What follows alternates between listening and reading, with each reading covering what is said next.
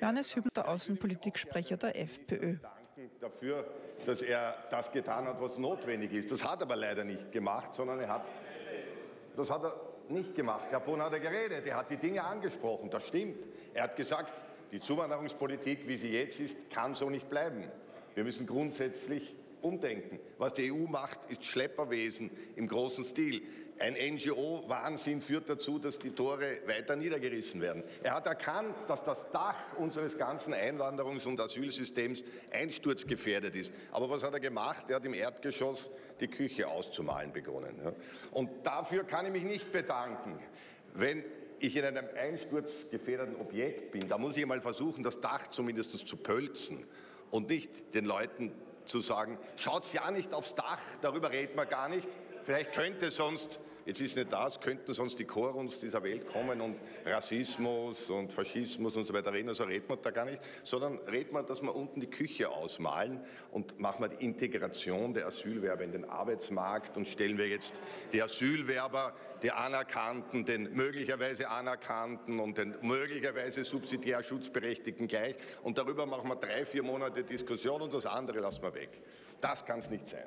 Und das muss ich auch dem Minister Stöger sagen. Sie reden da ganz ganz anders als der Minister Kurz. Aber eines ist Ihnen ja auch klar, Sie unterstützen ja auch die Schließung der Westbalkanroute. Sie unterstützen auch den Türkei-Vertrag. Das heißt, Ihnen ist ja auch klar, dass wir es nicht mit dem Schutz von armen Personen, die vor Krieg, Not, Terror und Verfolgung flüchten, zu tun haben. Sonst würden Sie das ja nicht unterstützen. Wenn die Leute aus der Türkei beispielsweise wirklich verfolgt zu uns flüchten müssten, dann wäre es ja höchst unmoralisch und für einen Sozialdemokraten undenkbar, die Westbalkanroute zu schließen, weil da müssten wir offen sein und da müssten wir mit allen teilen.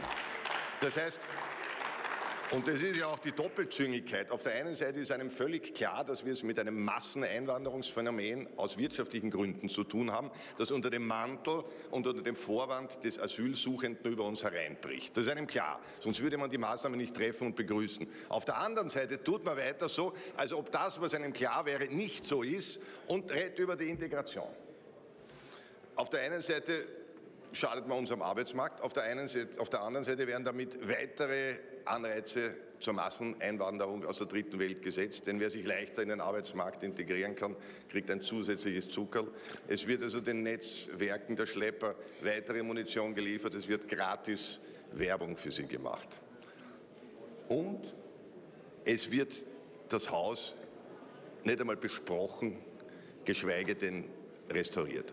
Und das Letzte, es ist natürlich auch nicht sozial, weil das wissen auch Sie, Minister Stöger, dass die Unterbringung eines einzigen Asylwerbers in Österreich 30 Mal so viel kostet als die Unterstützung vor Ort.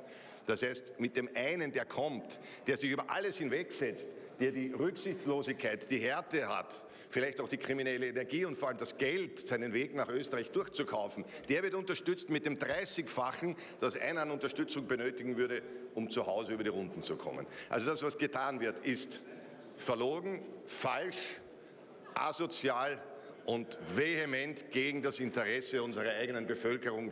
Das heißt, wir sollten als Volksvertreter hier endlich Schluss machen und die Dinge beim Namen nicht nur nennen, sondern dieser Nennung entsprechend behandeln. Vielen Dank. Johannes Hübner von der FPÖ mit Kritik am Integrationspaket.